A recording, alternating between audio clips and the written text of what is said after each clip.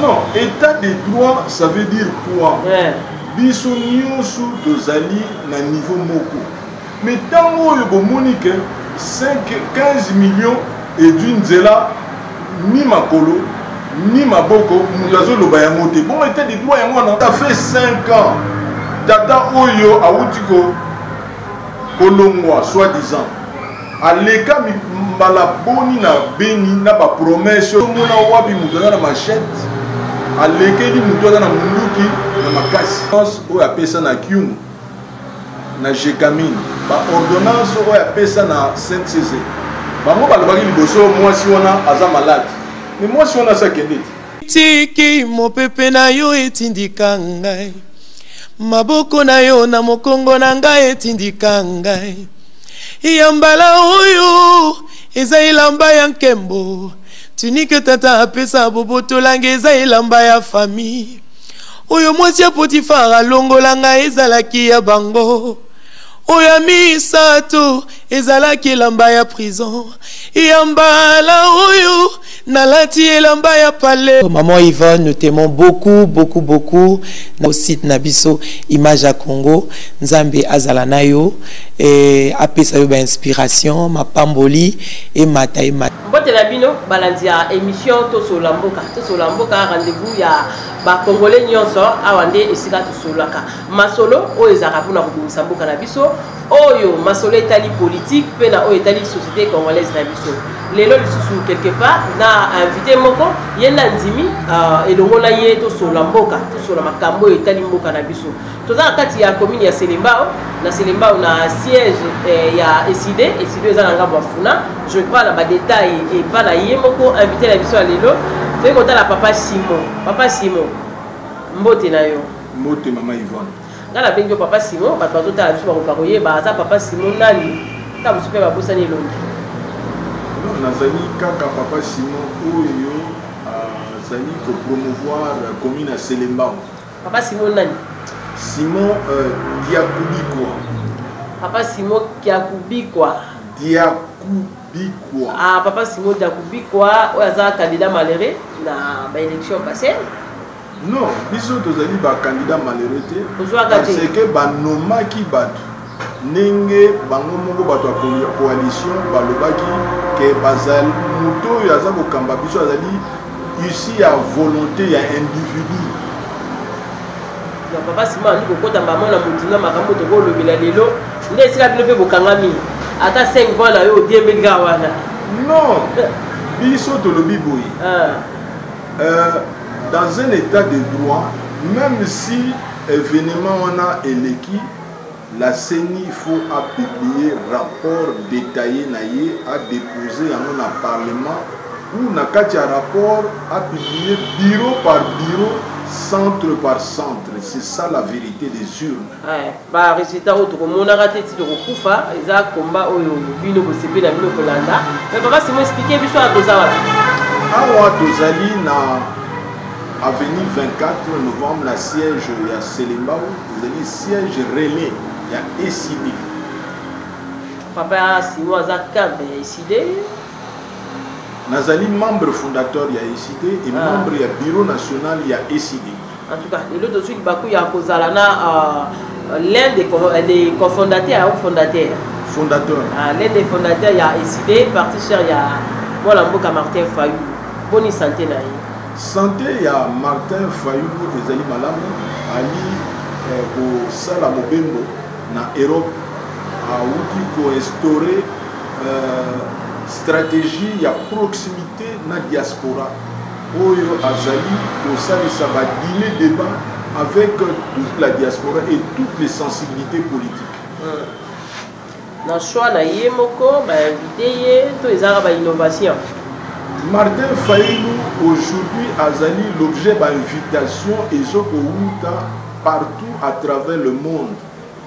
Donc azali oblige asala calendrier mpo a repondre na ba besoin wana. Donc nde oyo tozobeta masolo lelo, Papa Simon aza analyste na ye tozosala analyse ya actualité papa simon tozoloba boye eza masolo ya mboka awa nde tosololaka mboka mboka na biso ndenge eza ya koningana mboka eza ya kobuze na mayo etali beni na euh, départ ya monisco na matoi na yo ekomaki oyoki yango ndenge nini non ça fait 5 ans bandeko na biso ya basi ya mibali na beni bazali kokufa bozali koimagine euh, cimetière ya 5000 personnes oyo na 5 ans bakufi pendant que tozali na armée pendant que monisco ezali wana donc lelo oyo Il lui faut biso nioso bana ya Congo oyo bazali libanda ya Congo na oyo biso toza na kati ya Congo to telama en solidarite na combat oyo balingi kobotola biso mboka na est. Balingi kobotola biso mboka na banani? Mboka na biso ezali euh, l'objet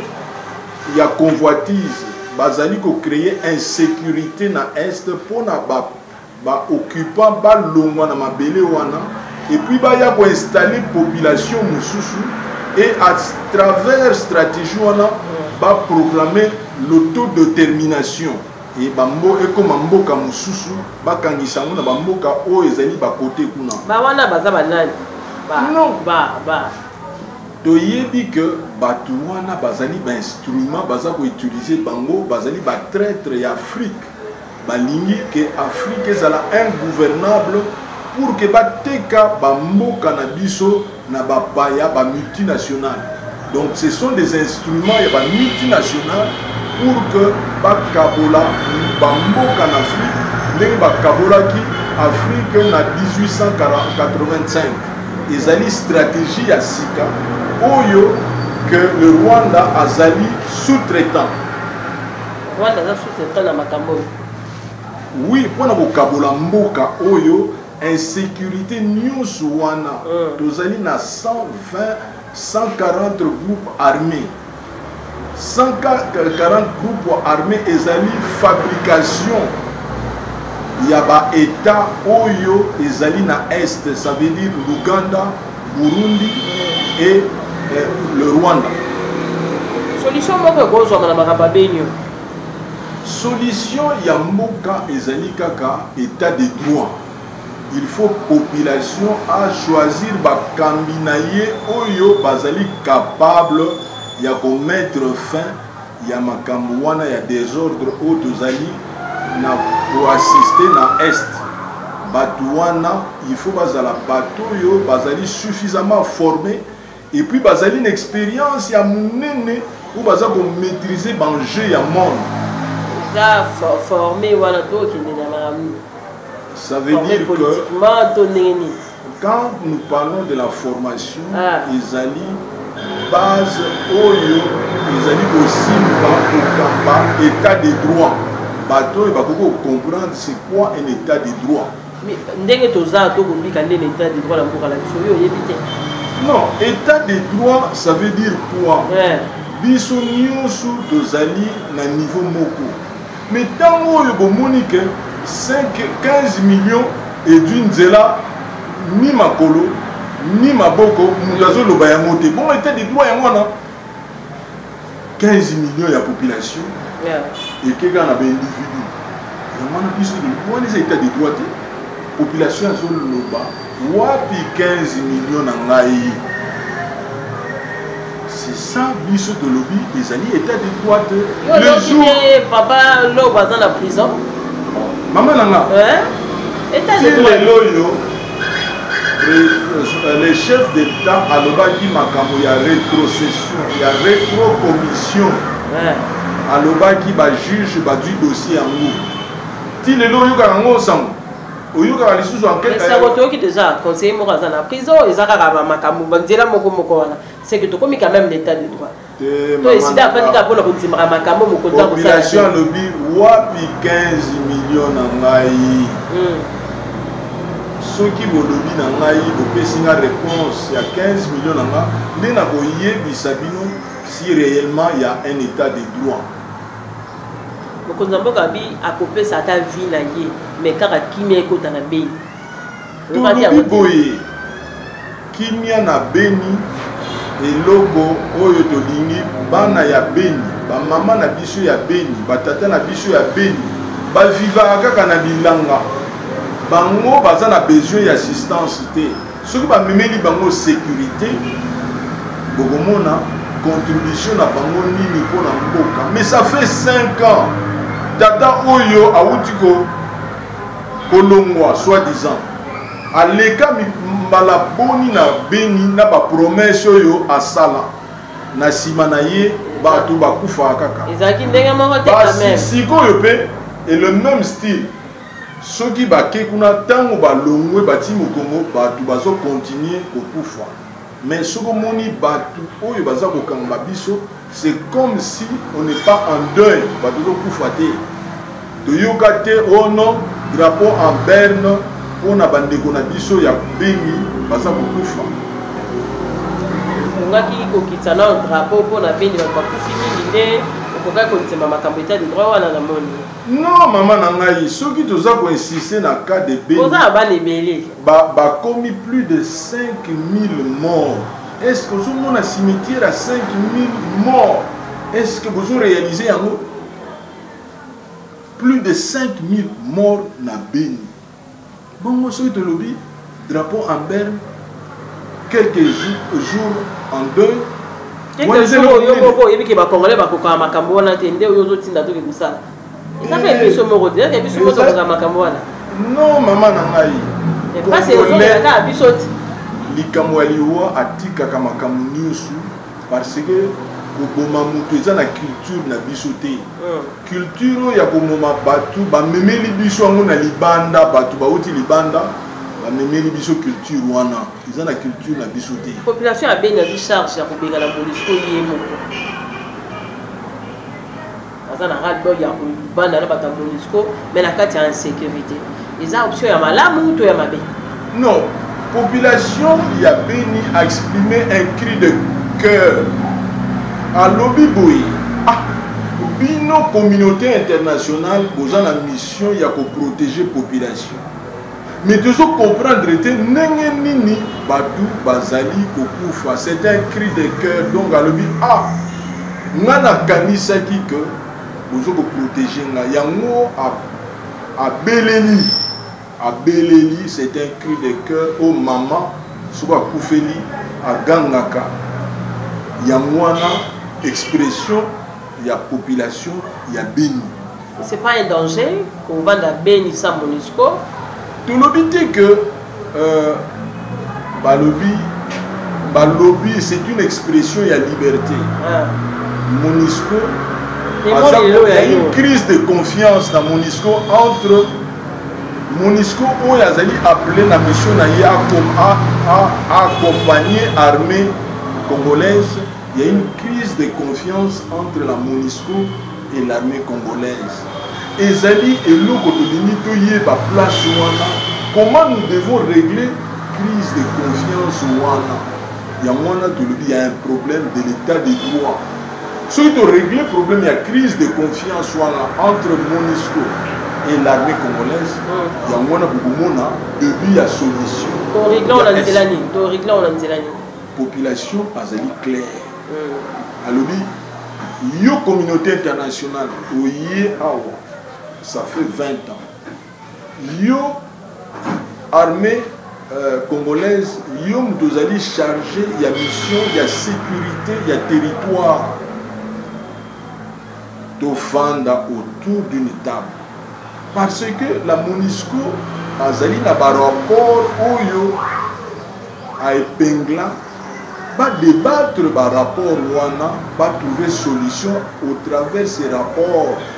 wana climat de confiance ezonga entre les deux institutions il y a une crise de confiance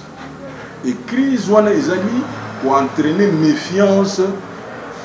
entre les deux institutions dont la population est victime yango emoni ke Euh, les deux institutions baza kocontrole espace wana te hmm. bamama moyen bakende na bilanga ezali te bamama na batata moyen bafanda na bavillage na bango eza te baza koboma bango lokola banyama na machete yo somona wapi moto aza na machete alekeli moto aza na monduki na makasi eloko eza kokamwisa biso ezokamwisa monde entier yango wana moto ya machete moto ya machete na moto aza na mbeli wana eza na baimage eza information ezali ba 140 groupe armé oyo ezali évalue ah. bato wana babomaka na monduki te bambomaka kaka na machete wana information ezali information te ezali makambo oyo toza kosuivre à travers bino bamédia hmm. à travers barapport oyo ezokoyela biso à travers le monde 140 groupe armé evivaka na ndenge nini soki bazali na bato baza na nsima te baza kosoutenir bango wana makanisi ya papa simo e papa simo toza na mambo etali parti na yo mpe wana ezalaki makambo ya monisco na uh, makambo etali beni Wana parti na bino bo se reserver nanu bozala bongo boloba kaka nde bozoloba wana au lieu de soutenir le chef de l'etat ndenge asa ndimi apesa vie na ye pourvu ke kimia ekota totelema to soutenir mokonzi ya mboka bino bokopesa soutien te mais besoin des ino mpe sila déjà ti mama na ngai tozali na débat ya légalité biso tozali na débat toza na débat ya légitimité La constitution na preambule na yango eloba boye mm. que depuis 60 Congo evivaka na crise ya illégitimité donc bato badirigeaka na biso bazalaka bato oyo bazali volonté ya population te donc ye Président oyo azali sikoyo, ye azali na légalité. Ça fait déjà une année.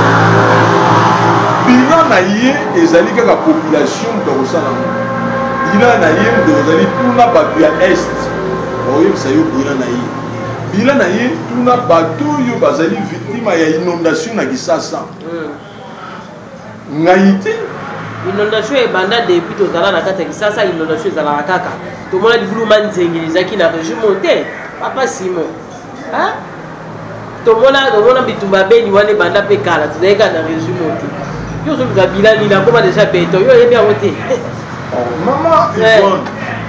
ozomona te eza positif kaka ye moko alobaki soki akomi awa tozwi gratuité nakosala positive te état major na ngai kuna hmm. wana ezali te kaka moto nalobaki yango soki otuni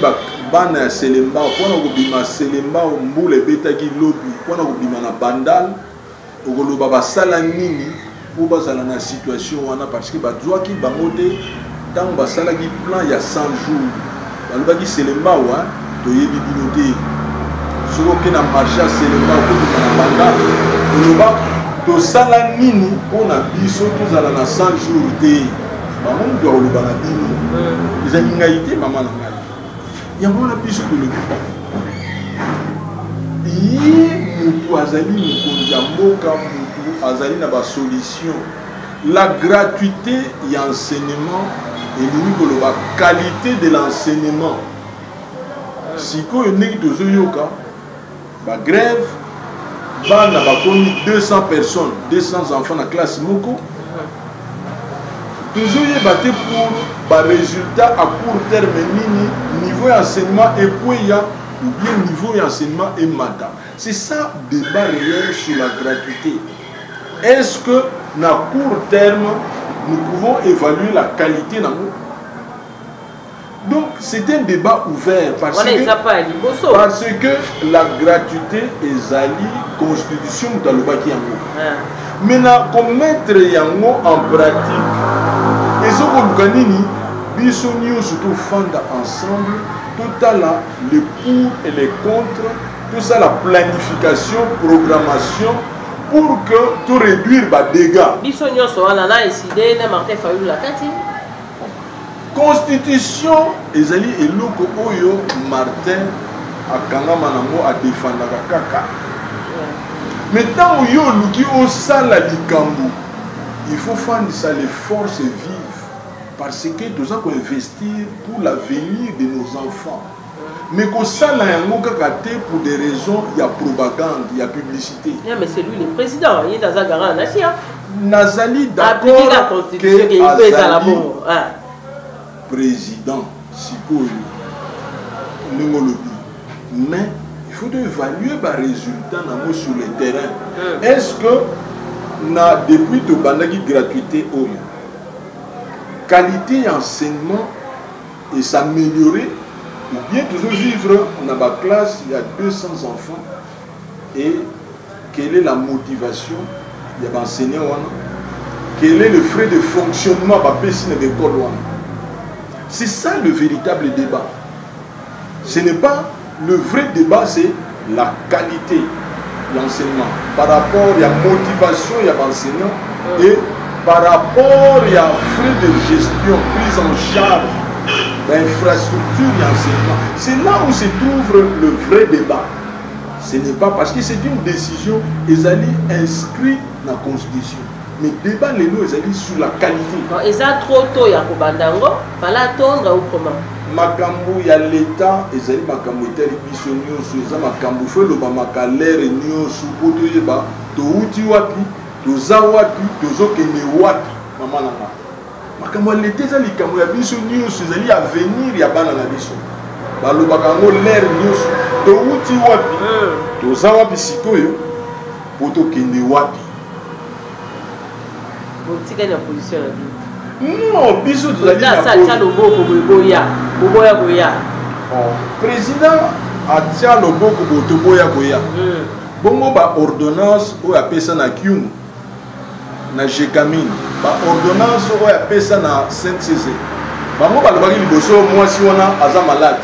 me mwasi wana asi akende te estce bato wana basalaka ndeko na nga mama na nga oza na misu olingi komona te oza matoi aza masolo ya kosolola mboka bana mboka baza ebele bazolanda biso na tibitibi bayeba nanu mwasi oyo abelaki owapi tozofungola mambo ebele mwasi oyo bolobaki ke azalaki ministre ya portefeuille eh. alingi ko executer ba ordonnances ya nomination ya Kyungu te na bateau misusu ya Gecamine na SNCC. Mwasi wana asa longo aza sous ministre te. Eh. Ministre ya portefeuille hein, ba changea mosusu. Mais ti lelo yo Kyungu alobaka kaka kuna na mai ya miso na ye moko ti lelo asalaka te bamisusu mpe basalaka kaka te bongo yo olobi yo batandi liboko biso toya te bongo eh. oyo bapesa ah, bapesa basalaka mama na ngai eh. soki bango moko motu bazali na kati ya famille wana baza kodirige mboka oyo alobi ah, ezali mutu mutu alobaki famille bango baza na mariage ya cash na eh, bino mpe na ngambo bebo ofanda bozotala kaka bango basali nini mwasi alobi ngai nayaki na libala mpo na yo te nayaki libala mpo na moto mosusu aza na libanda mobali alobi non soki osakani ndenge wana na kobeta yo okokende braza na bato te me na nage wana eza libala ndenge wana eza interpretation ezo interprete makambo tololenge makambo ezozalela me ezali mama tozosolola hmm. masolo ya mboka masolo ya mboka ezalaka na frontière te eh. loba loba masolo ya mboka eza ndenge wana hmm. boyo olobi na nga bino batiaki bino batandelaki bino liboko borepondre te me bango moko baza kuna na makambo ya ordonnance na makambo ya volonté na makambo ya nage tozoyoka tozoyeba te towuti wapi toza wapi tozokende wapi banani bazonage banani bazosala nini tozokomprendre te mama na ngai ivone eh. Tozo tozali na problème na libala toyebi balobaka enfin na libala tozolobela fcc na kati mokonzi ya kati ya ndako ezalaka mobali me mwasi alobi ngai mpe nazali me nazali awa mpo nayokaka te me libala mwa ndenge nini ipoki olonga na liso ya moninga na ngambo mpe okotala ya yo eza deja malamu olonga na moninga wana makambo na lamukasi wana lamuka eh. okuti na makambo ya lamuka boza mpe na makambo kuna parce que eh, président martin fayulu aza kuna lamuka ezali volonté ya population moto asengaki hmm. bosangana parce que biso tolingi changement lamuka ewutaki na baindividu te ezali volonte ya population lamuka ezali volonte ya population e population wana alakisaki yango ndenge akendaki na baelection bomonaki baelection esalamaki awa oyo esalama nanu te na mboka oyo campagne oyo esalamaki c'est ça lamuka eza baindividu te Mais yo olingi komema lamuka na baindividu poko ezali population eza kaka kosangana te kosangani jean-pierre bemba boyebila tuku eza kosangana te oyo aza président ya lamuka asala réunion moko te bavanda na bango moto avandi na coin na ye bosisi yaka bopesi koto bozosala mpe kaka eloko te lamuka ezali ya population oyo bomoni akolala lisusu te population oyo wapi mponaoyo oza na kongo oyobaleme baleme parce que population ye moko aza atelemi azo mituna aka martin fayolo akozwa décision ya kozala ye moko azoka kopela ye moko te ndenge nini martin fayulu ah. azali na kati ya lisanga babengaka lamuka Parti na biso ezali na kati ya Lamuka. Lelo oyo tozali na kati ya cohesion, tous les leaders ya Lamuka tozali ensemble. Mais bino moto eza libanda bozokoka kogere ndako na bino te te tozomona mpe ke non si martin fayulu aosala meeting moko ekozala po martin fayulu lelo so tobi ke abimi na meeting meeting oyo ekoki kopesa martin fayulu valeur ke azalaki na meeting na bato eza meeting mpo nalamuka eno na komba esili ezolakisaki aza farce te ye moko il faut kaka asangana na bato to ndenge nini non euh, mama ivone tozali kosala bamatine politique mingi na kati ya Kinshasa bilili eza kotambola pendant que Martin Fayulu aza libanda ECP esali plus de 5 matinées politiques na ville ya Kinshasa et à travers le pays na Goma na Fizi à travers le pays ça veut dire que ECD c'est une réalité il faut compter nango Donc Martin Fayulu akomi esprit ndenge nga nazali awa soki oke na Mwanda okokuta Pasteur Josué aza kuna soki oke na Goma okokuta Christian soki oke na Fizi okokuta Martin Fayulu mosusu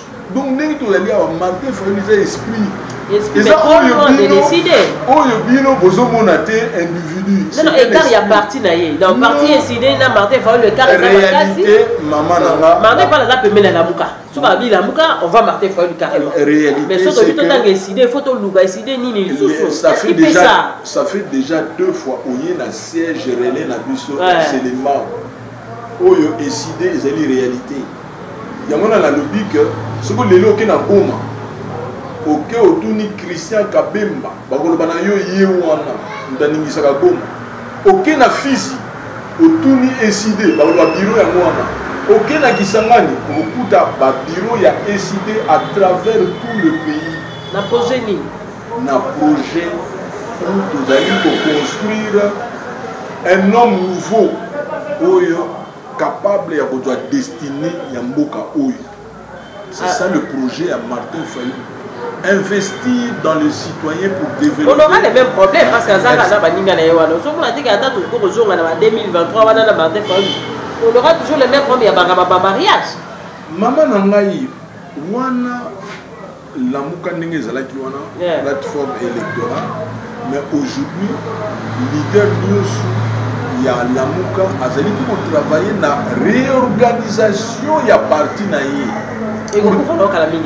pour, pour ton information yeah. mama na ngai pardon pour votre information yeah. le eside na mikolo ekoya dans deux ou trois semaines tozokende na Congrès na biso oyo tobengaka Conseil national pour dire que le parti la réorganisation du parti ezali aussi priorité ya président élu Martin Fayulu. Wana nde eza actualité. Ezali actualité na ba semaine oyo ekoya. Congrès balingi bosala so nini? Congrès ezali organe moko supreme pour le parti kosala évaluation towuti wapi tokomi wapi tozokende wana mboka martin fayulu akabwana na baninga na ye parce que population ya sa aboyi kosangana wana na makambo ya lamuka on ne sait pas lamuka eza supe na gaz te esi esila gaz Wana ezali interpretation na yo mais biso ECD ndenge tozo kokende hein toza ko reflete volonté ya population volonté wana ya population yango na babengaka lamuka azalaki invité lobi na kin 24 france 24 mwana mboka martin fayulu ezalaki mpona message nini non message oyo mwana martin fayulu alobi alobi état de droit na kati état de droit wana elingi koloba boye d'abord le respect ya constitution le respect ya constitution elobi nini il faut la légitimité donc population il faut azala dirige na bato oyo ye abimisi na baélection c'est ça oyo basi bapekisi bino botika botika botika parce que se eleka ekozongaka te non mama ivon eloko bolingi ocomprendre te hmm. la vérité des urnes ezali martin fayulu te ezali constitution martin aza kaka kolobela constitution mais alobi boye na ndenge makambo oyo eza boye Martin en tant que leader responsable a propose le plan de sortie de crise. Ah, ba plan wa propose on bala liboso te eyaka pe zo aboutir ata te. Oh, ezali bato oyo baza ba chauve-souris bakoki kotravaille na état de droit te bango mutu bazali bato ya viongolo viongolo me biso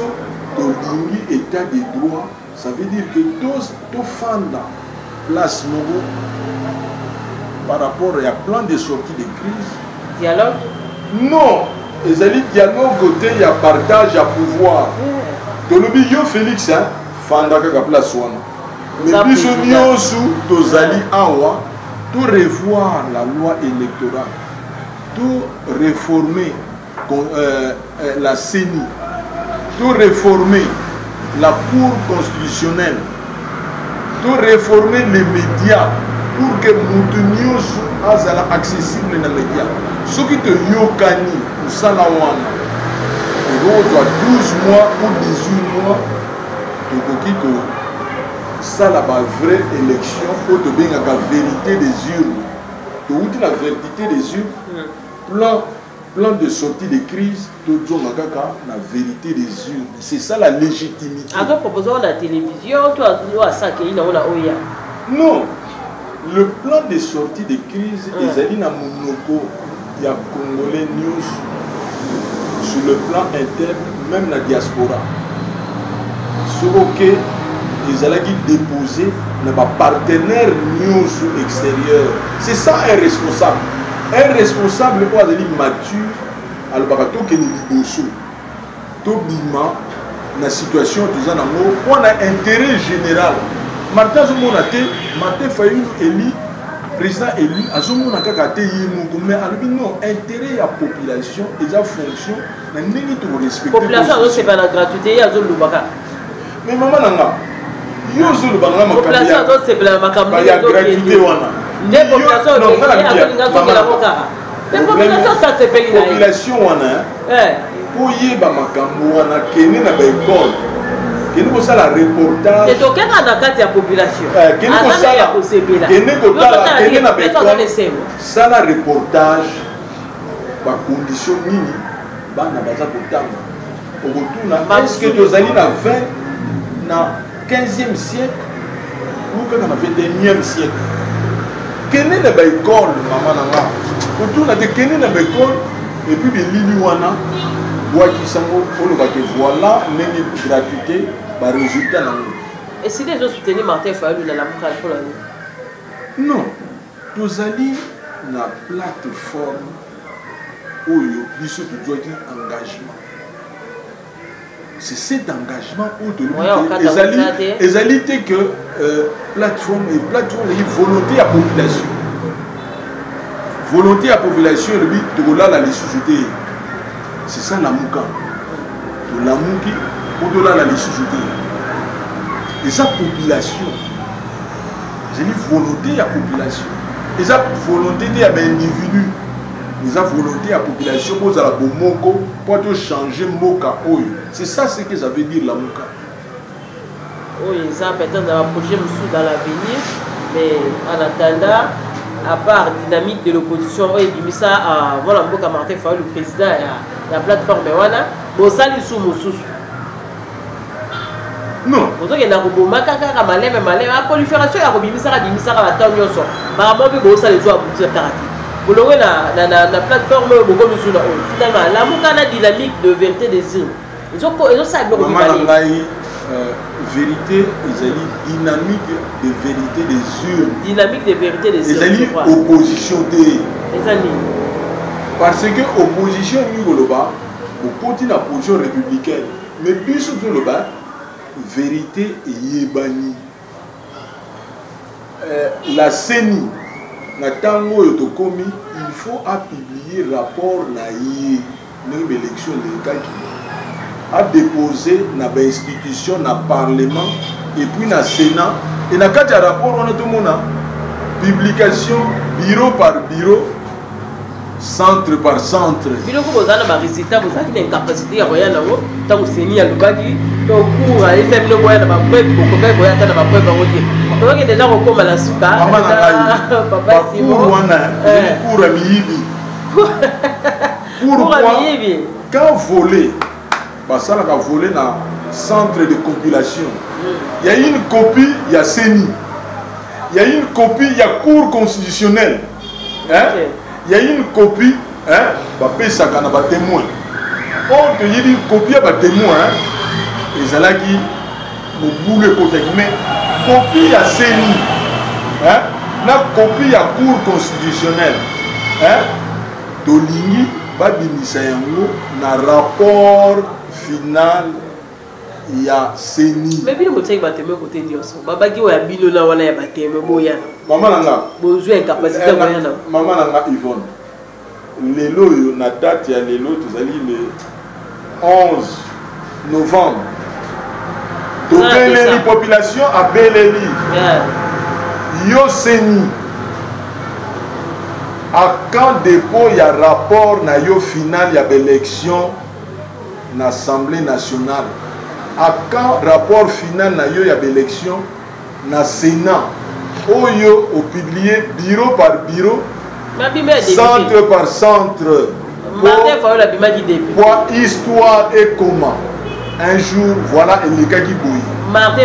meti lelo oyo rapport wana na bato bapanzi ya belili baza koluka rapport wana mama na ngai ivone Alobi bo memela ye rapport, copie ya rapport wana atala reellement makambo yango elekaki nini. Oyo elekaki na bi ba ke fona ba depute kaka na nsengi wana. Nga na lobi mama, mama eh. Yvonne. yo panzaka kaka sango na basupport oyo oza nango nga nazosengela yo mama yvonne bakende ko depose na CCTV rapport ya CENI mpo na mama Yvonne asala mosala na ye ayeba baélection elekaki nini bureau par bureau centre par centre wana eza parmi baquestion bandeko bacomprendre ke tozosola mboka bandeko akimi ngambo ya ndambu kote wana akoki koyebisa ngai yango lisusu malamu te bato bazotala bazoyeba quand même nini tozosola na yo papa simon sante ya eside tozokoma na sima santé eside eza malamu hmm. aujourd'hui eside ezali toza na babiro à travers tous les pays parce que toremarke ke population aza koluka partout azotambola adresse ya président élu martin fayulo maditi hmm. et Soki otuni batu na ba provinces nioso bakopesa yo situation ya ba sièges ya ECD. Donc au, au moment où nous parlons, ECD ezali une réalité et Martin Fayulu akoti na histoire parmi les grands leaders ya mboka oyo grâce à lamuka soki omoni bato ya bazosimba baarchive ya monde bakomi ko invite ye akende ko signer hein, na musée na Belgique ça veut dire que c'est une réalité toko compter nango après Lumumba na oyo balanda bakoloba susu ke na mboka oyo Martin Fayulu atiki bilembo aza na bilembo Martin Fayulu aza na bilembo wana eza yo nde ozomona bilembo yango 2023 ozala candidat biso tolobi eh. soki bakozala na compte ya lamuka kaka to decide oyo bozela makambo ya 2023 2020 oyo bato oyo ya libala wana bozala sur na bango ya libala wana tout est fonction libala wana ya contre nature tozokota na 2020 eh, libala wana bilembo oyo ezokolakisa biso toza komona 2020 ozala ngunungunu mama ivone tozwi rendez-vous lelo hmm. mais tozosisa mbula oyo mais mbula oyo tozokota ah, nayebi kosambelaka makasi mais libala so mpe bato bazolinga ngo tobolatela nzambe oyo olobaka mpo kokabola na ye wana ezala volonté na yo te wana eko makambo nzambe nde asali yo koprofite kepelo alobaki mais bato bakendeke libala mpo na éducation ya bana soki yo oke libala otika bana wana na nzela population wana otika bango na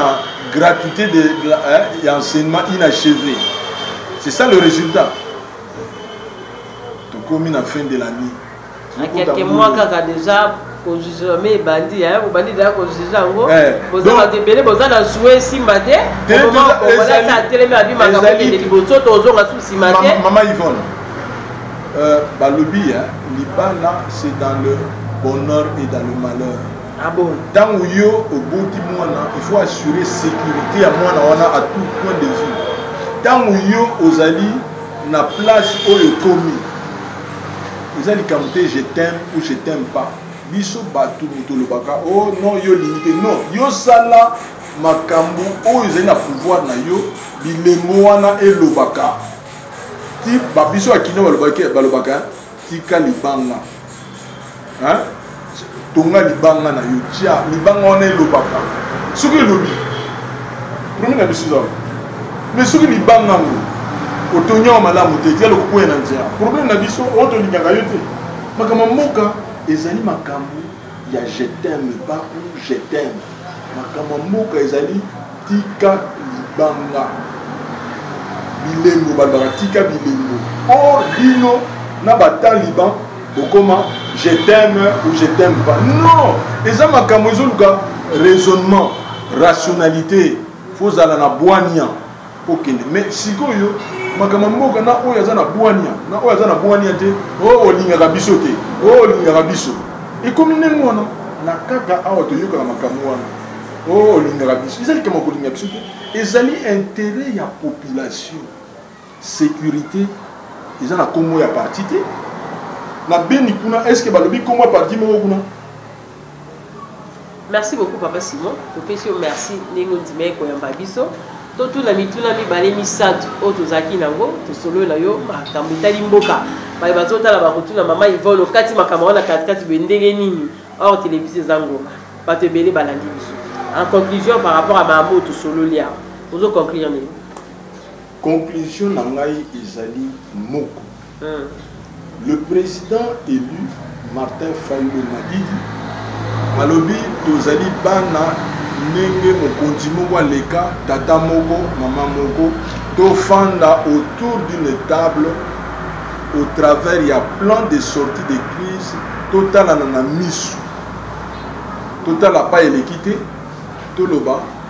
Towuti wapi, tokomi wapi, tolingi tokende wapi? To revoir la loi électorale, to revoir la CENI, to revoir con, con, euh, cour constitutionnelle, to revoir bapanzi donc bamédia pour que mutu nyonso azala accessible na mebedia et puis to fixer Tango oyo to ekoki mpo na b'elections ya solo oyo tobengaka verite des urnes. Merci beaucoup papa Simon oza cadre ya Ecide na parti ya Selembao. Cadre chargé d'implantation des infrastructures na Selembao. Na Selembao donc batu balingi bamona yo baya awa na Selembao. Oui. Na adresse nini tosuki. na arrêt tobengaka yango sikoyo bazobenga arrêt pai siège na biso ezali bazobenga yango arrin arrêt ah. fayulu na avenue